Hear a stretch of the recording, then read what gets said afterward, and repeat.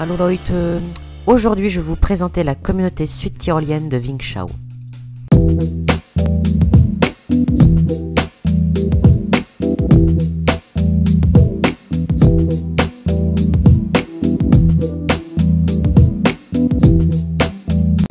La communauté de Wingshao a été fondée en 1962.